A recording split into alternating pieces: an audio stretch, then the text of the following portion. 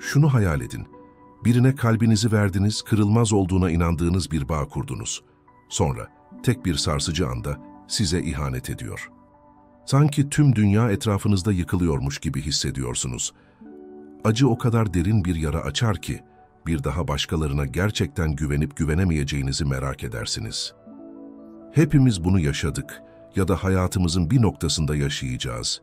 İhanet insan ruhunu başka hiçbir şeye benzemeyen bir şekilde yaralar. Zihninizi kemirir ve şunları fısıldar. Aptal mıydım? Artık kimseye güvenebilir miyim? Kendime bile.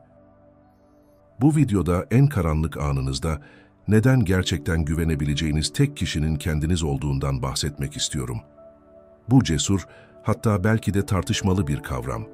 Ancak bunu reddetmeden önce kendinize sorun, hiç sırtınızı dayadığınız kişiler tarafından hayal kırıklığına uğratıldınız mı?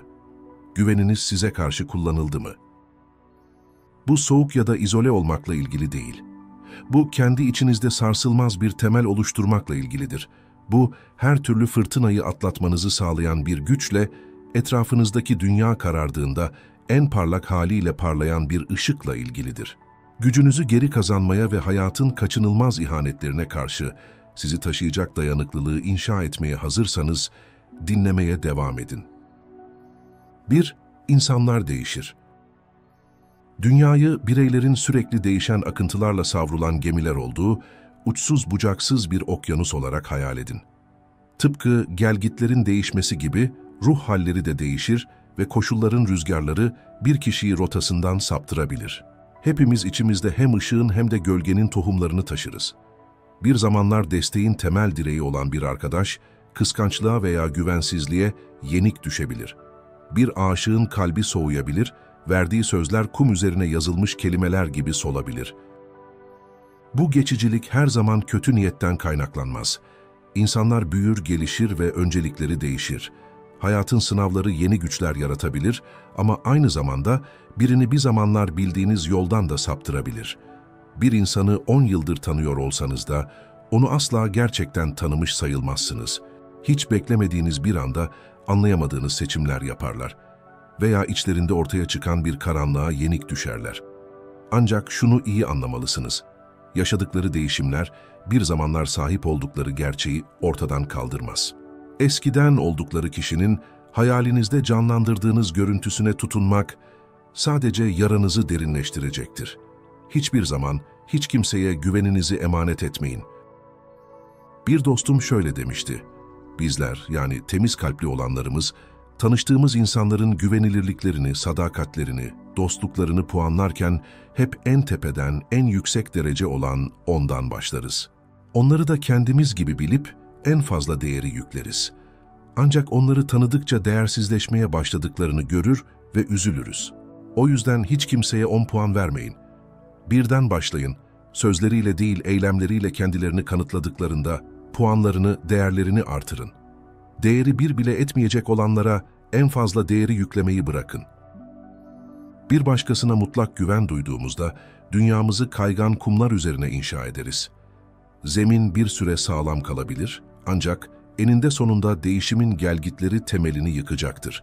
Hayal kırıklığı yalnızca diğer kişinin ihanetiyle ilgili değildir. Aynı zamanda kendi kontrol yanılsamamızın da paramparça olmasıdır. Onları tanıdığımızı, ne yapacaklarını tahmin edebileceğimizi düşünebiliriz ancak hayat vahşi bir fırtınadır ve hiçbirimiz onun gücüne karşı bağışık değiliz. Kendimize güvenmek soğuk ya da alaycı olacağımız anlamına gelmez.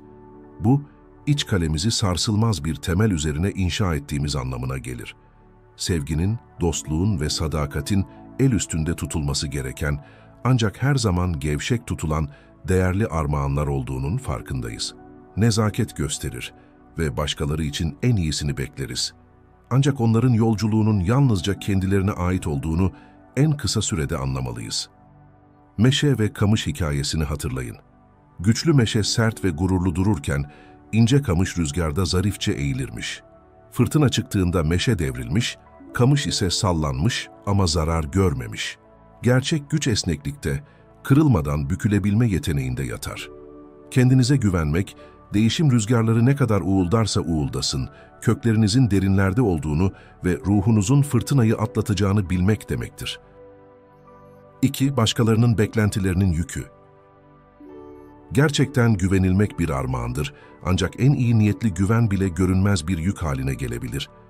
Tek bir taşı taşıdığınızı hayal edin, ağırlığı yönetilebilir, hatta belki de kolay bir meydan okuma haline gelebilir.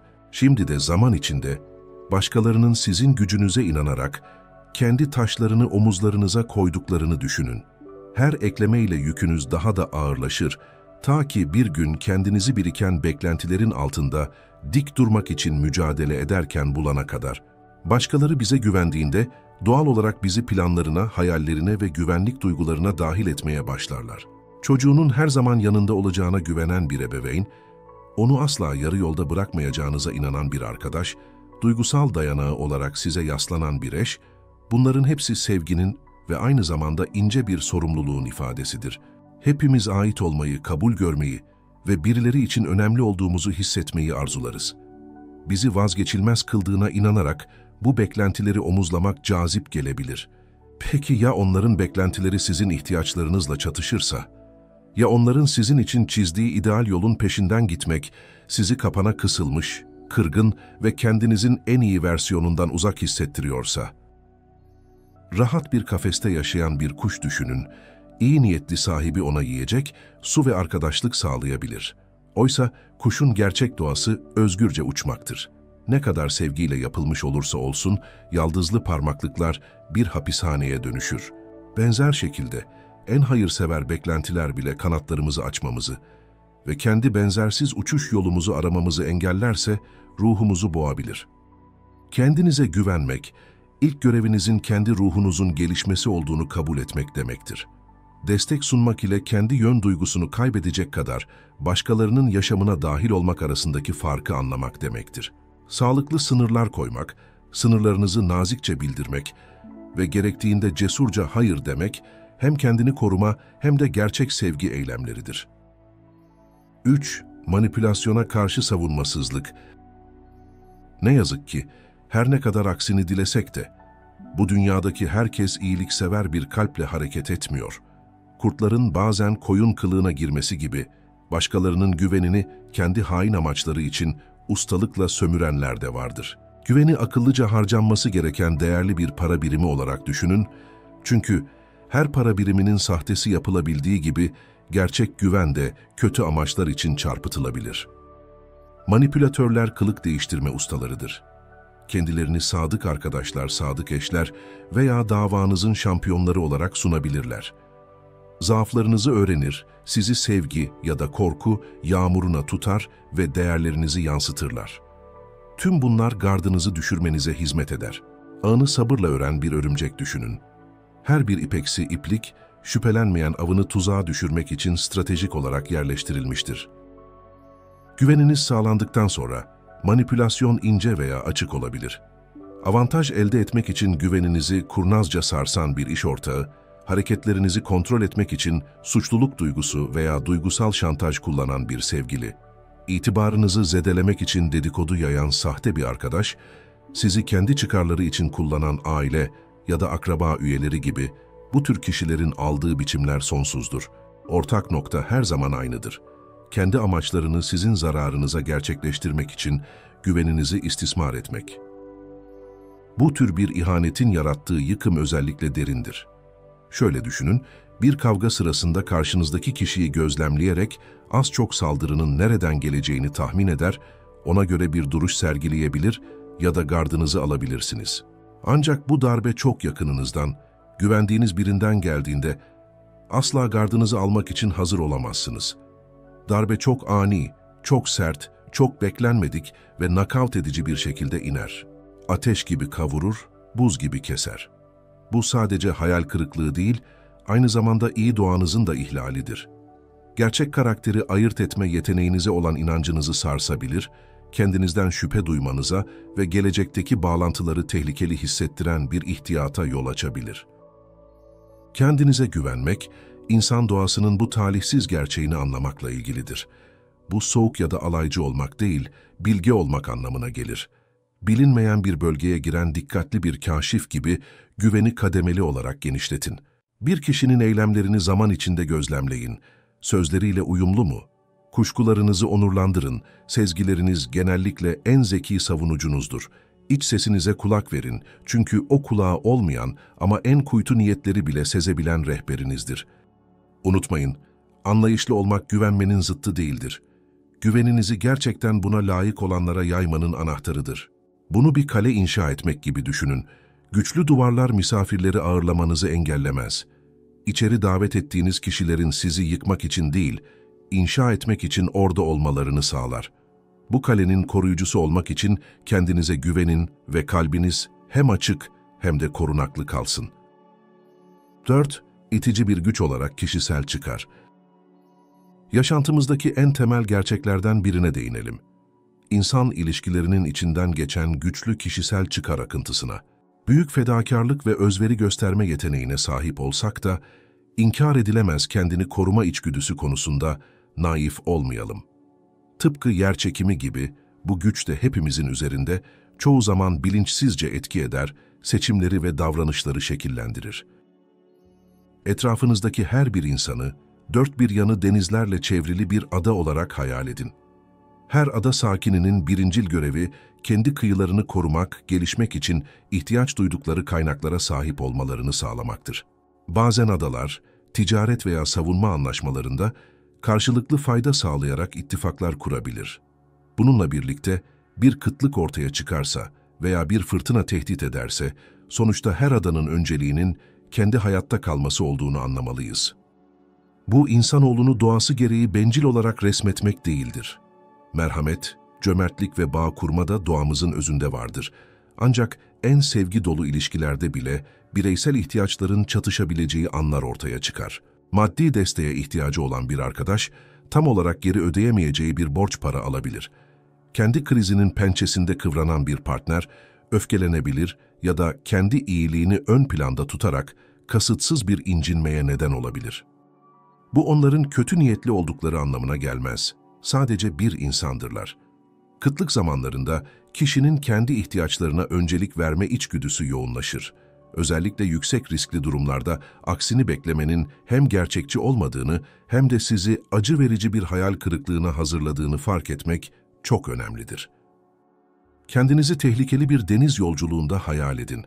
Kendi yiyecek ve erzağınızı hazırladıktan sonra mürettebatın sizden her şeyi özgürce paylaşmanızı beklediğini bilerek bu kendi hayatta kalmanızdan ödün vermek anlamına gelse bile gemiye biner miydiniz? Tabii ki hayır. Yaşam yolculuğu da benzer bir sağduyu gerektirir. Elinizden geldiğince nezaket ve yardım elinizi uzatın. Ancak başkalarının her zaman sizin iyiliğinize eşit derecede yatırım yapacağını varsayarak kendinizi avutmayın. 5. İhanetin acısı Kalbimizin derinliklerini kemiren bir yara vardır. İhanet, sadece hayal kırıklığından çok daha derinlere iner çünkü ilişkilerimizin temelini sarsar. Güveni, paylaşılan deneyimler ve iyi niyetin yavaş yavaş birikmesiyle zaman içinde özenle işlenmiş narin bir porselen vazo olarak düşünün. İhanet, tek bir sarsıcı anda bu değerli kabı parçalara ayırabilir. Bir başkasına güvendiğimizde kendimizi savunmasız hale getiririz. Kendimizi korumanın katmanlarını sıyırarak umutlarımıza, korkularımıza ve en derin benliklerimize erişim sağlarız. Bir başkasının temel iyiliğine, sadakatine, savunmasızlığımızı asla kasıtlı olarak bir silah gibi kullanmayacağına dair verdiği söze inanırız. İhanet, bu kutsal anlaşmanın ihlal edilmesidir. Masum ve inanç dolu bir çocuğun elini bir yabancıya uzattığını ve tokatla uzaklaştırıldığını hayal edin. Acı sadece fiziksel değildir. Şok, kafa karışıklığı, dünyayı güvenli bir yer olarak görme anlayışının parçalanmasıdır. İhanet, yetişkinler için bile benzer şekilde hareket eder. Karakteri yargılama yeteneğimize olan inancımızı sarsar ve bir sonraki uzanan elinde bir darbe vurabileceğine dair sinsi bir korku aşılar. Elbette her güven ihlali kötü niyetli bir eylem değildir. Bazen insanlar sadece zayıflıkları ya da kötü kararları nedeniyle bizi hayal kırıklığına uğratırlar. Ancak bu durumlarda bile acı gerçektir. Vazo sonunda onarılsa bile, bir zamanlar bütün olanın kırılganlığının bir kanıtı olarak çatlakları taşıyacaktır. Duygularımıza giydirilen ağır zırhlar, gelecekteki darbelere karşı koruma sağlayabilir, ancak ruhu da ağırlaştırır. Gerçek özgürlük, gerçek esneklik, ayırt edici bir kalp geliştirmekten gelir. Kendinize güvenmek, ihanet her ilişkinin doğasında olan bir risk olsa da, sizi yıkmasına gerek olmadığını anlamak demektir. Acıdan ders çıkarabilir, acıya yenik düşmeden daha bilge, belki de daha temkinli olabilirsiniz. Parçalanmış bir vazonun kintsugi sanatıyla dönüştürüldüğünü, kırık parçalarının altın ipliklerle birleştirildiğini hayal edin. Bu yaralar gücünüzün bir kanıtı, hayatta kaldığınızın ve acıyı eşsiz ve güzel bir şeye dönüştürdüğünüzün bir hatırlatıcısı haline gelir. Kendine güven, bu dönüşümün başladığı ve ateşten geçtiğiniz için daha güçlü çıktığınız ocaktır. 6. Kendine güvenin önemi. Gerçek özgürlüğe giden yol, sarsılmaz bir özgüven geliştirmekten geçer. Kökleri toprağın derinliklerine gömülmüş, muhteşem bir meşe ağacı hayal edin. Fırtınalar şiddetlenebilir, dalları düşebilir ama meşe ağacı gücünü içinden alarak yere sağlam basmaya devam eder. Dirençli ruh da bu ulu ağaç gibi olmak için çabalamalıdır. Başkalarından gelen destek hoş karşılanabilir. Ancak bunu güneş ışığı gibi düşünün, faydalıdır. Ancak sonuçta ağaç yalnızca güneş ışığıyla gelişemez. Yaşamlarımızı başkalarının sürekli yardımına ve onayına bağlı olarak inşa edersek, bir kazağa tutunan fidanlar gibi oluruz. Bu bize yükseklik yanılsaması verse de, hayatın alışkanlık haline getirdiği gibi, bu kazık yerinden söküldüğünde çökme riskiyle karşı karşıya kalırız. İlk kez yürümeyi öğrenen bir çocuk düşünün. Destekleyici ebeveynler el uzatır, cesaretlendirici sözler söyler. Ancak gerçek ilerlemenin çocuk adımlarını geçici olarak tek başına attığında gerçekleştiğini anlarlar. Her yalpalama, her tökezleme küçük bacaklarında güç oluşturur. Hayat sürekli bir öğrenme ve uyum sağlama yolculuğudur ve birilerinin bizi her zaman desteklemesini dilesek de, gerçek ustalığı üstesinden geldiğimizde kazanırız. Başkalarına aşırı güvenmek tehlikeli bir kırılganlık yaratır. Koşullar ya da kendi değişen öncelikleri nedeniyle desteklerini çektiklerinde ne olur? Eğer iç kaynaklarımızı geliştirmemişsek, akıntıya kapılır, dümensiz kalırız. Çözüm izolasyonda değil, sorunları çözme, aksilikleri aşma ve kendi içimizde yaratıcı çözümler bulma yeteneğimize köklü bir inanç beslemekte yatar. Stoacı felsefenin parladığı yer burasıdır. Bir zorlukla karşılaştığınızda kendinize şu soruyu sorun, benim kontrolümde olan nedir? Durumu iyileştirmek için küçük de olsa ne gibi adımlar atabilirim? Etki alanınıza odaklanarak, refahınızı başkalarının kaprislerine bırakmak yerine mülkiyeti geri alırsınız. Özgüven asla yardım istememek demek değildir. Gerçek gücün kendinizi tekrar tekrar ve tekrar ayağa kaldırabileceğinizi bilmekten geldiğini anlamaktır. Bunu her yaptığınızda biraz daha sarsılmaz olursunuz.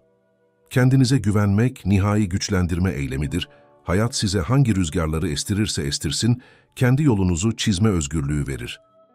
7. Duygusal kırılganlık Stoacı felsefenin temel ilkelerinden biri, yaşamın fırtınalarını dindiren duygusal bir dayanıklılık olan içsel sükunetin geliştirilmesidir. Ancak başkalarına aşırı güven duyduğumuzda, zor kazanılan bu huzur üzerindeki kontrolümüzü tehlikeli bir şekilde elimizden kaçırmış oluruz.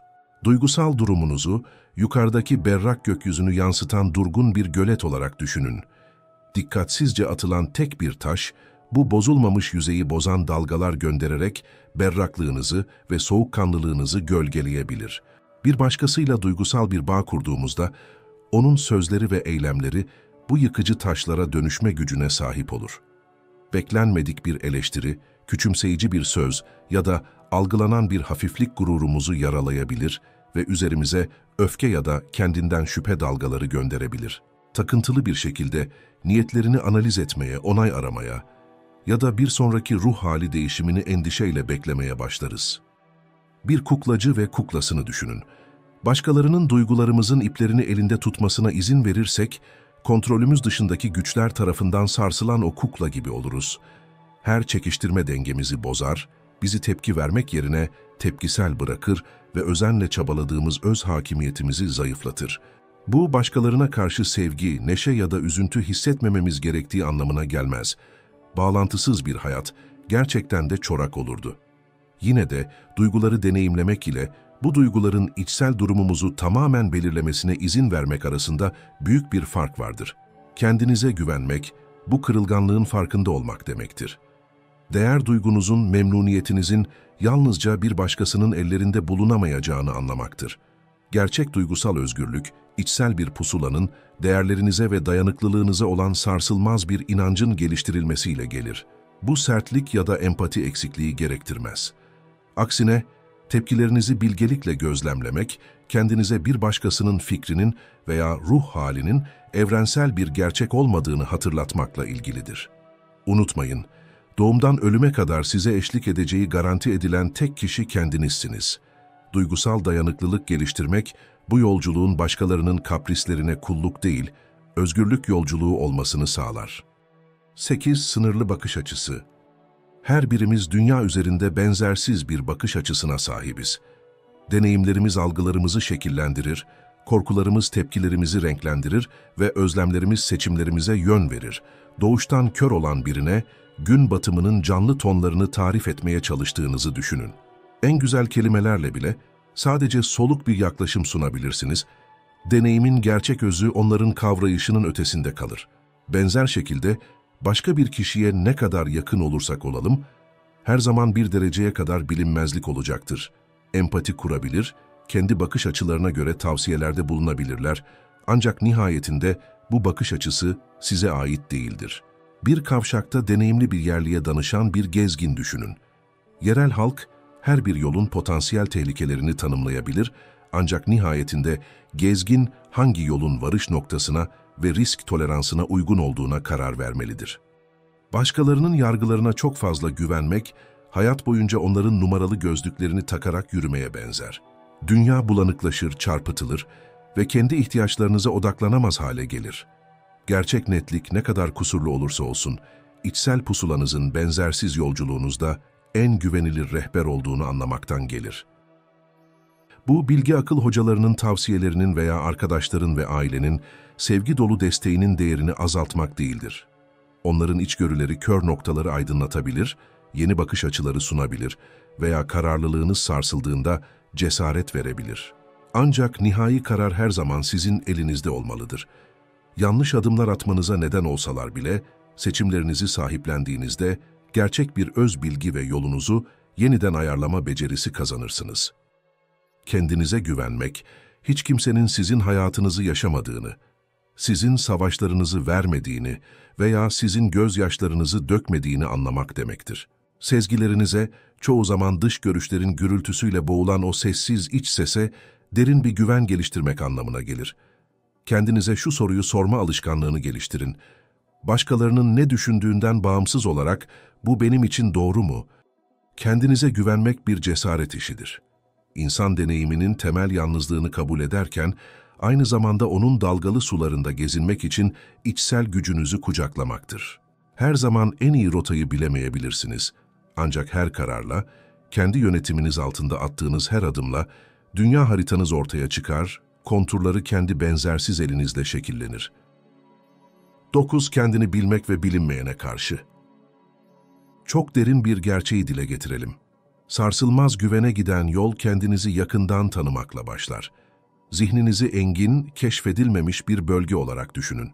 Belirli yerlerin haritasını çıkardınız diyelim. Örneğin, tutkularınızı, korkularınızı, seçimlerinizi şekillendiren yol gösterici ilkelerinizi.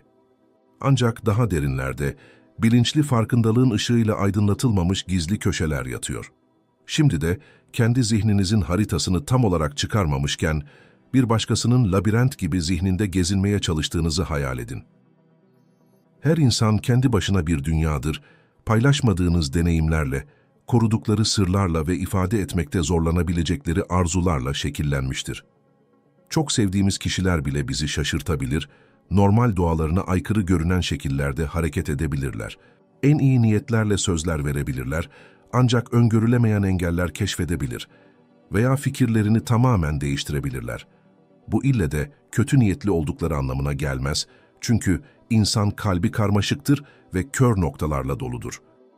Bunu geceleyin sık bir ormanda yolunuzu gösterecek sadece titrek bir fenerle gezinmeye çalışmak gibi düşünün. Birinin yolunu, muhtemel varış noktasını bildiğinizi düşünebilirsiniz ancak sallanan dalların oluşturduğu gölgeler gözü yanıltabilir. Her adımda görünmeyen köklere takılma ya da zeminde beklenmedik bir uçurumla karşılaşma riski vardır.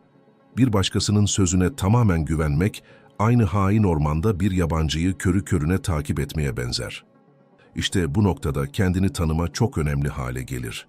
Kendi iç dünyamızı özenle keşfettiğimizde, hem motivasyonlarımızın daha fazla farkına varır, hem de başkalarının gizli karmaşıklıklarına karşı daha empatik oluruz. İyi niyetlerin her zaman iyi sonuçları garanti etmediğini anlarız. Kendi kitabımda da yazdığım bir söz var. En saf niyetlerle gün ışığında yola çıkmış olsak bile, günün sonunda bizi karşılayacak olan şey karanlıktır. Kendi erzağını toplayan, kendi haritasını taşıyan ve yolculuk boyunca tetikte olan bilge bir gezgini gözünüzün önüne getirin. Yol arkadaşlığına değer verirler ama nihayetinde yönlerini belirleyenin kendi pusulaları olduğunun farkındadırlar. Benzer şekilde yaşam yolculuğu da kendi gerçek kuzeyinizin güvenli bilgisiyle donatıldığında en iyi şekilde kat edilir. Kendinize güvenmek, sınırlarınızı bilmek, zayıflıklarınız konusunda dürüst olmak ve gelişmek için gerçekten neye ihtiyacınız olduğunu anlamakla ilgilidir. Sevdikleriniz farklı bir rota izlese bile kendi yolunuzu seçmektir. Bir başkasının yolunda yürümeyi seçtiğinizde onun ayakkabısını giymiş olursunuz. Ya bol gelir ya da çok dar ama asla sizin ayağınıza veya zevkinize göre değildir. Belki de o yüzden yaşadığınız hayattan darlanıyor, bunalıyor ve her şey çok fazla geliyor olabilir. 10. Gücün yozlaşması Gerçekten de gücün tuhaf ve sarhoş edici bir cazibesi vardır ve kendine güvene giden yol gücün etkisine karşı dikkatli bir gözle döşenmelidir. Tarih, asil niyetlerle yola çıkıp kontrolün yozlaştırıcı fısıltılarıyla baştan çıkanların öyküleriyle doludur. Gücü baş döndürücü bir şarap gibi düşünün. İlk başta tatlı gelse de aşırı tüketildiğinde ağızda acı bir tat bırakır. İnce ve esnek bir fidan hayal edin. Şimdi aynı fidanın büküldüğünü, daha yaşlı ve daha güçlü bir ağaca dolandığı için büyümesinin engellendiğini düşünün. Güç de bu sağlam ağaç gibi davranarak zaman içinde kişinin karakterinin şeklini bozabilir. İster siyasi bir lider, ister varlıklı bir hayırsever, hatta sevilen bir ebeveyn olsun, başkaları üzerinde otorite sahibi olan biri kendini yanılmaz olarak görmeye başlayabilir. Bir zamanlar sağlam olan yargıları, konumlarının kendilerine olağan, ahlak kurallarından muafiyet sağladığı inancıyla bulanıklaşabilir. Daha ince durumlarda bile güç bir dengesizlik dinamiği yaratır. Bir başkasının konumundan fayda sağlayanlar, gerçek bir sevgi ya da cezalandırılma korkusuyla dürüst bir eleştiri yerine daha kolay övgü sunabilirler. Örnek vermeye gerek duymadım, muhtemelen kimden bahsettiğimi anlamışsınızdır.